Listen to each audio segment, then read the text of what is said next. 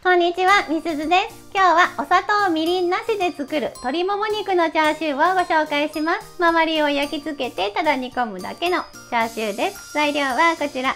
以前の動画では鶏胸肉のほったらかしで作るチャーシューご紹介しているのでそちら概要欄にリンク貼っておきますね。今回はもも肉で作っていきます。で作り方です。まずは鶏もも肉2枚塩していきます。全体に塩をもみ込みましょう。これは前日に塩振ってあるので厚手のペーパーに包んで水分を吸い取ってます。使う12時間ほど前に室温に出します厚みに包丁を入れて開きましょう全体を同じような厚みにしてあげると火通りが均一になります端っこからくるくる巻いていきますこちらをタコ糸で縛って巻きが外れないようにします。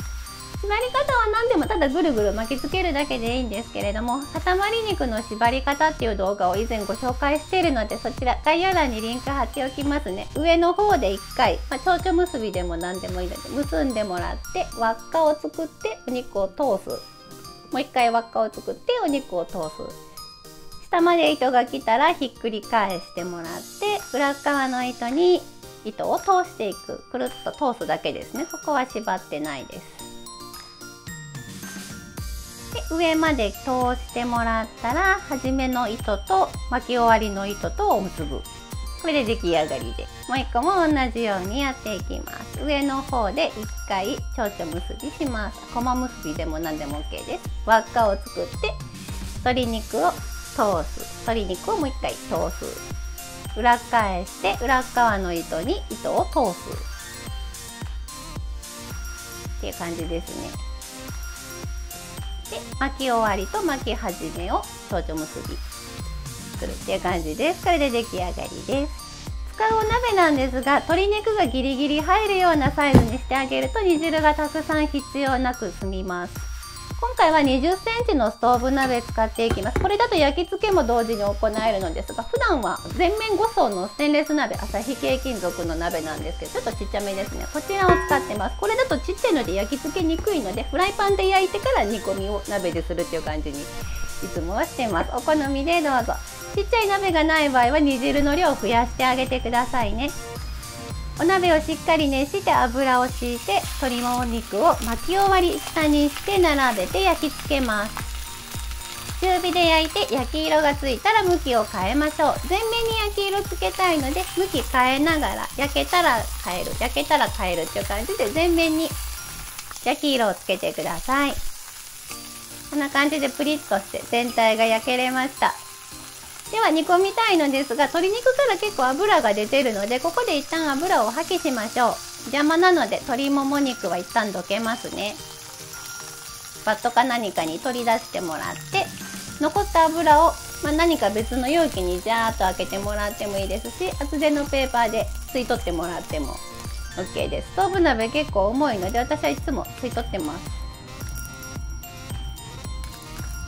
余分な油がなくなったら再び鍋を火にかけて鶏肉を戻します。煮汁を加えていきましょう。煮汁の量は鍋のサイズによって増やしてあげてください。お水とお酒を加えます。とここに昆布ですね。あれば加えてあげてください。あとお醤油を加えて臭み消しでネギと生姜を入れますネギは適当にちぎってもらって。生姜は薄切りにして34切れ加えてください。蓋をして中火にかけます。蒸気が上がってきたら弱火にして10分から15分。煮込んであげてください。途中でお肉の上下を返します。お鍋が大きすぎて煮汁が少ない場合ですが隙間に玉ねぎとか人参とかお野菜詰め込んであげるとかさ増しになりますよ。鶏肉に火が通ったら出来上がり。火を止めて完全に冷めるまで放置してください。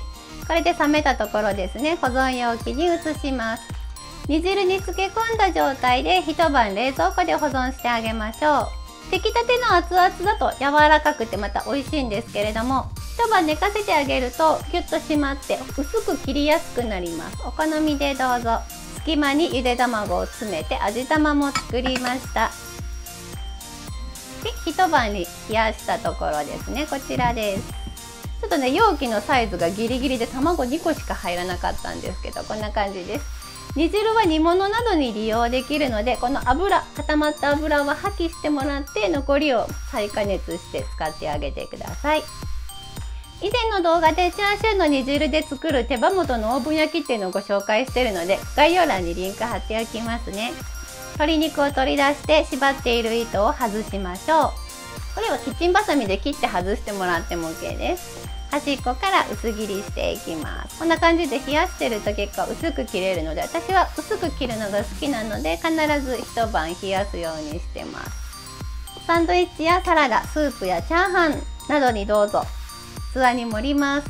今回はルッコラとあと以前動画でご紹介したかぼちゃのカポナータ。それからプチトマトと一緒に漬け込んだ味玉を添えています。お好みで残った煮汁を温めてタレとしてかけてあげてください。あとオクラの縦切りですね。ちょっとでっかいオクラでした。最後まで見てくださりありがとうございました。お砂糖みりんなしで作るしっとり柔らかな鶏もも肉のチャーシューです。ぜひぜひお試しください。また明日の動画では残った煮汁を使って生姜焼き用の豚肉を煮絡めていきます。そちらもぜひご覧ください。詳しいレシピやブログにも書きますのでそちらも見てくださると嬉しいです。サンドイッチやピザの具材にしたりダッチベイビーにトッピングしたりとかするのも美味しいですよ。お弁当のおかずなどにも向きますよ。お砂糖みりん入ってないので普通のチャーシューに比べるとそんなに日持ちしないので早めに23日で食べきってあげてください。ではまた。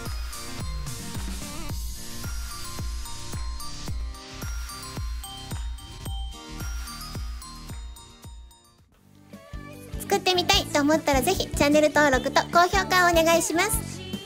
このチャンネルはお砂糖みりんなしレシピを載せています。詳しいレシピはすべてブログに書いてあります。また見に来てくださると嬉しいです。Twitter、Instagram、TikTok なんかもやってます。こちらもぜひ覗いてみてね。それではまた。